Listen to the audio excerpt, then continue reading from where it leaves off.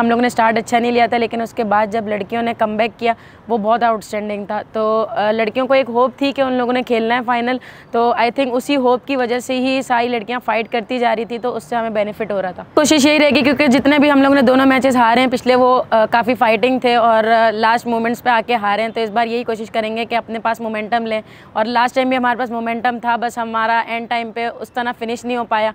तो इस बार सारी लड़कियों की यही कोशिश होगी कि अच्छे नोट पे फिनिश कर सकें। राइवलरी तो वाकई में होती है और हम लोग जिस तरह अंदर खेल रहे होते हैं, लड़कियों का एग्रेशन होता है, सब वैसे ही बहुत डिफरेंट होता है और सब लड़कियाँ जान भी डिफरेंट तरीके से मार रही होती हैं क्योंकि उनको पता होता है कि सामने लाहौर की लड़कियाँ हैं और उनको भी पता है सामने कराची की है।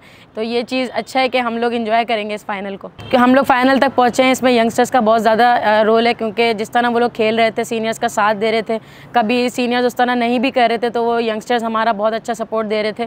तो आई थिंक ये यंगस्टर्स की वजह से हमारी टीम यहाँ तक पहुँची है क्योंकि जिस तरह सारे यंगस्टर्स ने खेला है, वो आउटस्टैंडिंग था। ज़बरदस्त है इंडिविजुअल परफॉर्मेंसेस भी बहुत अच्छी रही हैं। गुलाम फातमा जो लीडिंग विकेट टेकर हैं, उसके अलावा सिद्रा अमीन हमारे टॉप रन गेटर हैं।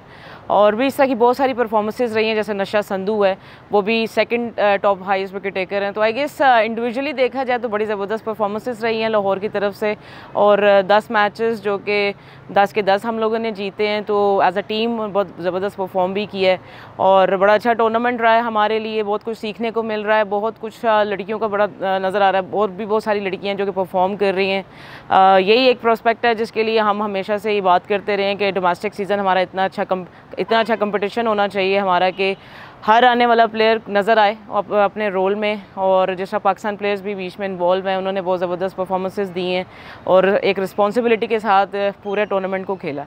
जिस तरह अभी तक हमारी टीम अनबीटेबल रही है इन ताला फाइनल भी हमारा बहुत ज़बरदस्त होगा। हमारी पूरी कोशिश है कि हम हर मैच जीतने के लिए जाएँ और जिस तरह की परफॉर्मेंसेस हमारी पूरी टीम दे रही है, जिस तरह लड़कियाँ हर रोल में आके उन्होंने बड़ा अच्छा रोल अपना किया है और आई गेस uh, यही परफॉर्मेंसेज हैं जो आपको फाइनल तक लेकर आई हैं और इन ताला फाइनल भी जितवाएँगे। डेफिनेटली कराची की टीम भी हमेशा से बहुत अच्छी रही है। सीनियर प्लेयर्स भी हैं और उधर भी जूनियर प्लेयर्स भी हैं लेकिन उन्होंने भी बड़ा अच्छा अपना कॉम्बिनेशन खिलाते रहे हैं।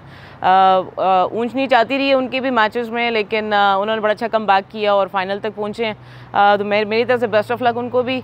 आ, अच्छा मैच हो अल्लाह करे फाइनल के लिए हमेशा हमारी यही कोशिश होती है कि एक अच्छा कंपटीशन देखने को मिले लोगों को क्रिकेट देखने को मिले और इन ताला होप्स हो कि कल अच्छा मैच होगा।